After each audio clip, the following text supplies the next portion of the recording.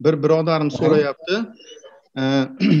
Nima sababdan ba'zi davlatlarda ramazon avval boshlanadi yoki hayit bayramida farq bo'ladi?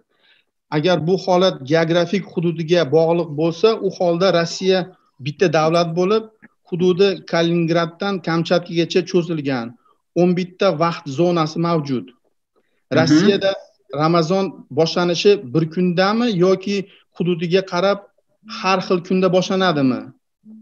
Yana bitta misol osmoniylar imperiyasi davrida saudiya arabistoni ularning tarkibida bo'lgan.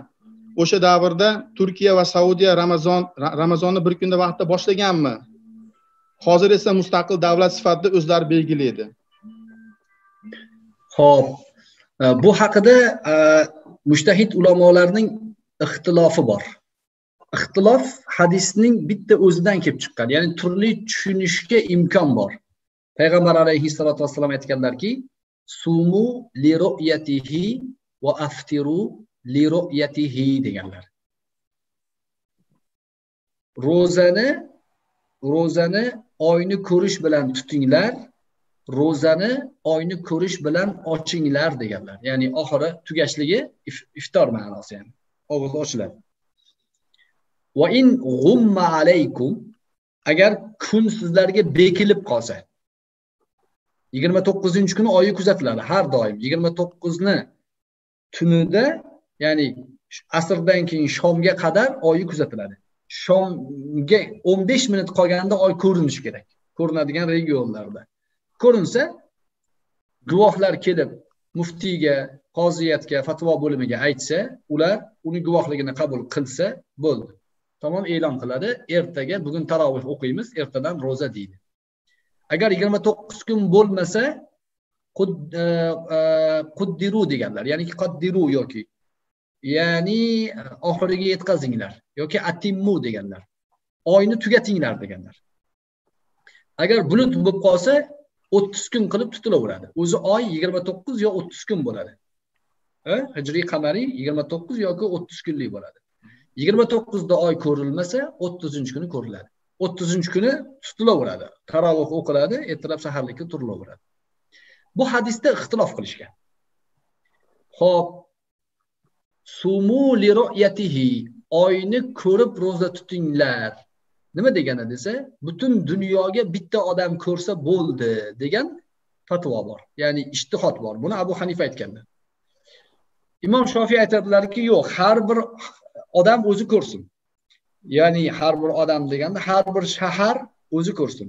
Har bir regionni o'zini e, ulamolari aytsin deganlar. Bunga rivoyatni keltirib ikkalarini ham dalillari bor.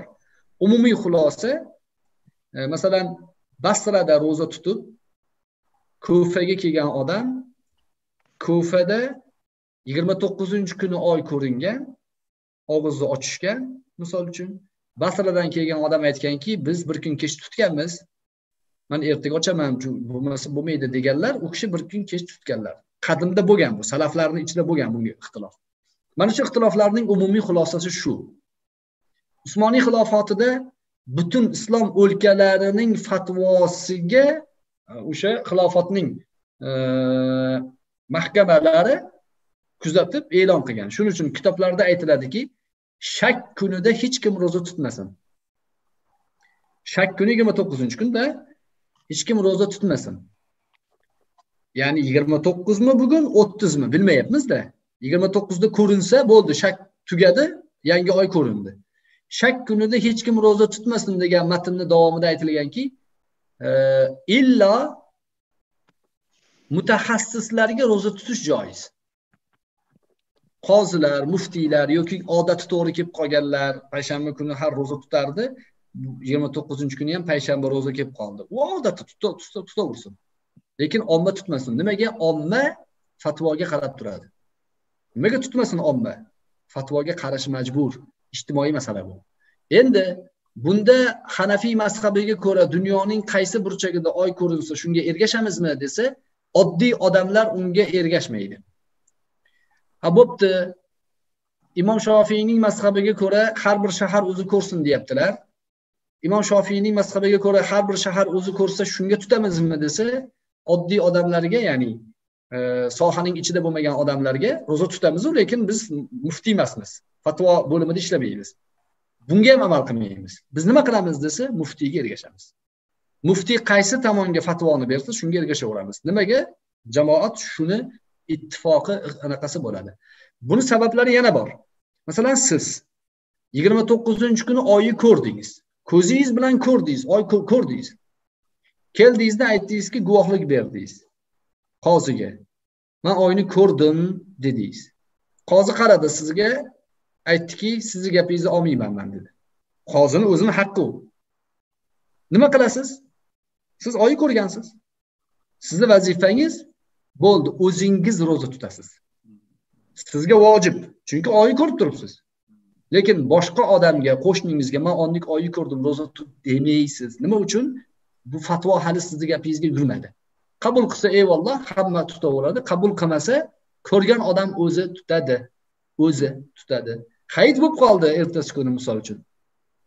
Siz oyni ko'rganingiz yo'q yoki oyni ko'rdingiz hayit kuni ham ro'za tutaveramanmi desangiz farz bo'lgandan keyin tutaverasiz.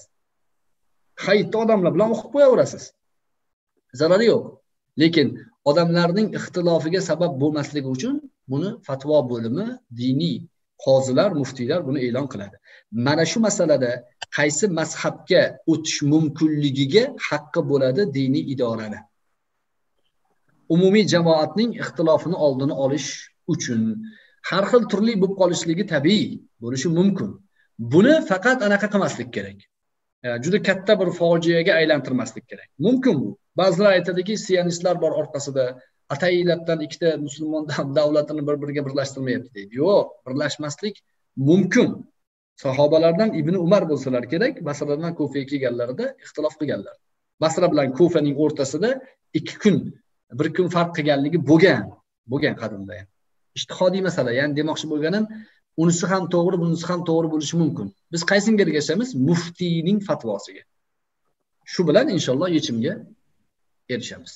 Keyin ana shu rossiya masalan bitta davlatu rossiya bitta davlat. Unda masalan e, hayit kuni bir kun bir kun e'lon qilinadi to'g'rimi?